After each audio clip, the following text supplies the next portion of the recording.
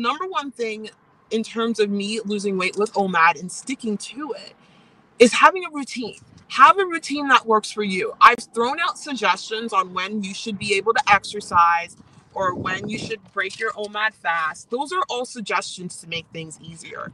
But as long as you're doing the same thing day in, and day out, it makes it easy. This is what makes this is the key to losing weight. This is the key to weight loss, period. Is make it habitual. Make it the same mundane, boring routine, and it will guarantee you weight loss. Weight loss is boring. There's nothing exciting about it. When you get into the rhythm of it, it's boring. The routine is back and forth and it's doing the same thing over and over again. I'm like 18 hours into my fast and the scale didn't move, but I'm on my cycle. So I'm doing this live stream to help remind myself for the things that I did to get through this journey. So I have a list here. My top five tips to guarantee weight loss on OMAD. This is exactly what I did that I'm not doing right now. Number one is count your calories. Count your calories. I know I've talked about you can do the 23 1 intermittent fasting method without counting your calories. But honestly, if you want to know, if you want to learn weight management, you have to count your calories. It's exactly how I did it. I counted my calories from day one and I stopped counting calories because I got coaching advice to do that just to not stress out about it. But counting calories doesn't stress me out once I'm in a routine when you are in a routine with calorie counting, it becomes automatic. Like it just becomes automatic. Where calorie counting gets stressful is when you stop calorie counting and you're trying to get back into it. And then it's a struggle to get back into it. But once you're in a routine with calorie counting, it's easy. Of course, if you're doing it for years and years and end, throwing in a break here or there is fine. But with OMAD, honestly, you just need to calorie count until you hit your goal weight. And depending on how much weight you lo- you need to lose. Most people need to lose let's say if they're on a weight loss journey this is going to be like an extreme weight loss journey. Most people need to lose at least 100 pounds. Some people need to lose less. Some people need, need to lose more. So i'll just say 100 in the middle. But to count calories consistently to lose weight with omad and to get to 100 pounds down that shouldn't take more than a year i don't think. It should not because omad is just that just that good. Yeah i you can do waist training on omad it's not it doesn't hurt at all. And omad is probably like or fasting doesn't matter what fasting routine you do in terms of intermittent fasting or what have you but i think fasting period and when i say intermittent fasting at least omad fasting for like 22 hours a day or more is probably the best way to shrink that waist fasting targets belly fat. People don't like to hear that, but it's the truth. It does. It's just been evidence in my weight loss journey when I would lose weight and I throw in fasts or do prolonged intermittent fasting via OMAD or do a dry fast or ADF, any of those versions of fasting, OMAD and above. So what I consider OMAD and above is OMAD, alternate day fasting, uh, dry fasting for longer than 24 hours, and extended fasting for longer than 24 hours, that is what I mean by OMAD and above. Any of those methods, throwing it into your waist weight loss journey or waist loss journey, who doesn't want a snatched waist? I think everyone wants a snatched waist, especially us women. Um, throwing those in definitely helps you out with um, shrinking that waist for sure. All right, so tip number five or four. I think I switched it. Who? To guaranteed weight loss with OMAD, throw in a keto OMAD. Throw in keto OMAD days. Personally, I did it with keto OMAD through and through. I will forever already. I will forever advocate keto OMAD. There goes my brain slipping up. Forever advocate it. I will. Forever. And I'm actually doing a keto OMAD tonight. I'm going to try to jump right back into it. Throw in keto OMAD days. Why? Because keto OMAD just ramps up your metabolism. It switches things around. It helps, it keeps you in fat burning mode longer you get ketones. So it's where your brain uses ketone. And why are you driving like that, you weirdo? Why are people weird? Like, honestly, I have anxiety around people. I'm in a parking lot, and now you have to come park beside me. That is fantastic. Oh my goodness gracious. This city is crazy right now. It's the Calgary Stampede. And I didn't realize how big the Stampede was. I thought the Calgary Stampede was just, you know, it was about a cowboy thing. It's not. Like, Pitbull's here, this uh de- this um I don't know, singer called Ross is here. Like a whole bunch of people are here. Like a bunch of politicians are in town. I didn't realize how big it was. Like it's really big. If I knew Pitbull was Johnny Reid is performing every night, and I love Johnny Reid. Um, he's Scottish but Canadian, but lives in Tennessee. Um, I didn't realize how big it was. So this city feels like Toronto does on Caribana weekend, but not as bad. Toronto's worse, obviously. Apparently, a million people come into the city. It's all lively. Like if I knew Pitbull was coming, I definitely would have bought tickets because I love Pitbull. But anyway, um, yeah, that that person just scared me there because he was like driving into my car. The next tip I want to talk about is um, so yeah, I said throwing keto OMAD days because it keeps you in uh, fat burning stage longer. Your brain switches from using ketones as energy, and your body's able to utilize um, your fat, and it crushes your hunger and it speeds up weight loss. Like I love it right now. I love it. So I'm definitely gonna attempt a keto OMAD tonight. I had like again, I've been struggling with it. Like I prefer to do keto OMAD, but with everything going on with my body, it's driving me absolutely insane. But I'm gonna have a steak because every time I don't know if anyone else has this problem, but every time I consume steak, it takes my body like longer than usual to digest it. And I think that's because steak is full of vitamins. It's full of B vitamins too, which I take to help. B vitamins are good. I take vitamin B2. It helps to digest um, fats, carbs, and proteins better, but I take it mainly for headache issues. But every time I have steak, it sits on my stomach for like the longest time. So I'm definitely gonna do a keto OMAD tonight. I'm gonna have steak. I'm gonna have eggs. I might throw in some beef liver. Um, I'm gonna try to get nutrient dense food so my body doesn't freak out. Other things that you want to add to your journey in terms of losing weight with OMAD is that you want to download apps. You want to make sure you're tracking everything, have a method of seeing your progress day in and day out. Um, honestly, repetition is the best way to learn. I'm going to keep hammering this in my head.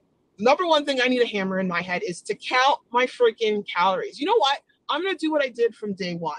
I had a calendar. Get, I did have a calendar app, and then I stopped utilizing it because I was just all over the place with my issues, but have a damn calendar. Like calendar tracking, I've always been successful with it. And the reason why I've been so successful with calendar tracking, it's how I did it with when I got into routine with exercising. I know Beachbody or BODi, they have a bunch of printouts that you can use where you track everything and you would track your workouts Monday, Tuesday, Wednesday. You know you're doing cardio this day, you're doing upper body that day. And just having that visual just keeps its like scheduled. When you have things scheduled, it's easier to stick to it. And I don't mean scheduled to a T. Just you know, you don't have to have things scheduled by the hour or minute by minute. I can't do that. I know the most successful people in the world schedule their like days in like one hour blocks or is it 15 minute blocks? That's what Elon Musk does. I ain't no Elon Musk. But at least having a plan for the day, like jotting down like what your meal is gonna be, you can do this first thing in the morning, what your meal is, is going to be. Visualize what you're going to have for your meal. Visualize that you're going to stick. That's what I did a lot in the beginning was visualization. I would do this meditation by Andrew Johnson on the Insight Timer app, and he talks about visualizing yourself doing the habits that you need to do in order to get to your goals. So I would visualize myself every morning being like, okay, I'm going to eat 1200 calories today and I'm going to stick to keto. And how I'm going to do this is that I'm going to have, uh, let's just throw out a random meal. I'm going to have some bacon. I'm going to have some steak. I'm going to have some riced cauliflower. I imagine myself eating that. And I imagine myself eating that at about 7 o'clock p.m. And then throughout the day, I imagine myself keeping myself busy, not getting, you know, not giving into temptation, um, another method is to do if you, whatever you're struggling with. Let's say you're struggling with breaking your fast early. Take some time in the morning and imagine yourself not breaking your fast early. Imagine yourself feeling the urge to go into that fridge or go on that app. Hopefully, you're not doing that because apps are very expensive. But visualize yourself feeling all the feelings that you're feeling to, like, you know, not stick to your routine. So let's say you're feeling those feelings inside. You're feeling like anxious. You're feeling like not well. Imagine yourself feeling that, going to the fridge and then being like, I'm not going to do this today. I'm going to stick to my goal. Have a little mantra you, you can say. Maybe like, I am powerful, or I am enough, or I am worthy to refuse this. So I'm able to stick to my goal, or I am worthy of having self delayed gratification. Like, have that in your head. Imagine that in the morning. Imagine you doing that and then closing the fridge and walking away. So when that time does come in the evening, guess what happens? It's imprinted in your subconscious mind, and there you go. You don't do it. That's how I got over binge eating. I really use that. That was through EMDR and following that meditation. Like meditation is very powerful. I should do a video on talking about weight loss meditation or losing weight via meditation. Like I should definitely do a video on that because honestly, weight loss is a hundred percent a mindset thing. Your mind at the end of the day. That's what it's about. Sorry, I gotta stop this car if we're ever gonna get these doors fixed. All right. So my next tip is take your electrolytes throughout the day. That's what I need to do. Right now, I don't need electrolytes. It's so hot here. I'm so thirsty. It's absolutely wild. But make sure you're taking your electrolytes first thing in the morning and drinking tons of water throughout the day. Water is important on OMAD, whether it be water in the form of zero calorie teas. Please avoid all sweeteners because sweeteners will just increase your hunger. I don't know how I did it. Like there were some days when I first did OMAD, I had copious amounts of coffee because coffee is a great appetite suppressant. But um, coffee also ruins your gut health. I actually took a fat burner today, which is in the form of a green tea extract and um, green bean coffee through InnoSup. So you guys will be seeing a video dropping by them because I was just like frustrated with um, how my body's looking right now.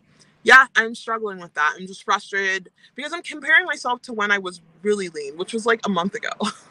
I was lean at like when I was sitting in the low 170s and my stomach looked good. And now I'm just like not happy. I'm like, what did I do? But I was told to do that to help my body heal. But at the end of the day, I was still getting symptoms. So it is what it is. So I'm just gunning. I'm really pushing to hit a new low weight. I just want to kind of get to the 160s, even the 150s, stay there, train hard, train like how I was training before, train hard so I can eat more and just like build muscle in like at a very lean weight. That's what I want to do. I'm gonna get there. It's just gonna take time. But yeah, what was my tip? Yeah, take your electrolytes and stay hydrated. Another thing is you want to have a weight log, and this ties into this t- tip. Have a weight log and make sure that you are weighing yourself right before you break your fast daily. You want to weigh yourself right before you break your fast because it keeps the scale consistent. You do want to do daily weigh-ins because daily weigh-ins li- gives you the information you need in order to lose weight. If you're not losing weight or if you're on a weight loss journey and you're not weighing yourself daily, what are you doing?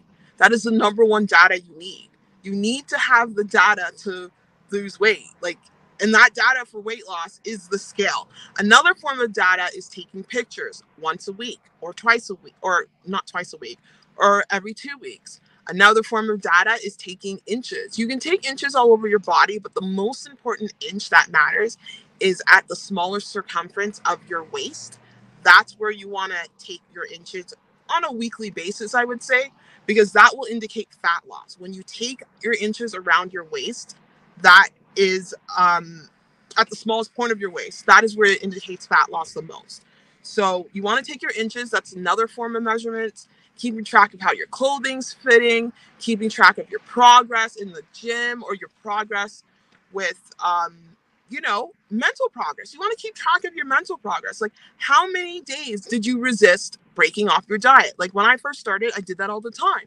I would track the days I would mess up. That's so important. Keep track of the days you mess up. And then for one month, I messed up maybe six days. And then I would be like, the next month, you know what? We're gonna, we're not gonna go more than four days of messing up. So keeping track of your mental progress in that way. How many days are you improving in terms of you um, maybe messing up your diet or messing up your routine. So it's important to just be aware of what you're doing because awareness is powerful. Weigh yourself daily, have a weight log, which is just listing your weight in one column and um, having your calories in the next column. And the weight log allows you to adjust your weight loss. You know, if you're looking at your calorie count and you're seeing that, hey, the weight's going up, bump your calories down by 100. Um, the weight log is going to give you so much information. You can use the weight log to gain weight. It's the same thing. Gain weight is the reverse. All you got to do is um, do the same thing, record your calorie count. If the weight's dropping, increase your calories by 100. Um, the weight log is just so powerful because it tells you your maintenance calories. It tells you um, when you plateau, you get to know your body more. Um, you understand how your body responds to different forms of exercise. you you understand how your body responds to maybe lack of sleep, or you did this this day and it was a very active day. Like having all of that knowledge is power on your weight loss journey. Because the reason why people fail is that they see the scale go up and then they don't understand why the scale's going up, even though they're counting their calories. Like, look at me, I'm in this situation. Well, the scale didn't go up for me, the scale's just not moving. Like for me, for example, I'm weight logging right now. I did OMAD perfectly for for yesterday. And what did, and I went to the gym. And what did the scale do? It just stayed the same. It stayed the same. So I know there's a part of my brain that's freaking out right now. I know. But me having the info from the weight log and me understanding, hey, my cycle is supposed to start tomorrow. Literally, it's supposed to start tomorrow. Then I know, okay, it's water weight from my cycle. Because normally when I do a perfect OMAD like that, I'm dropping three pounds.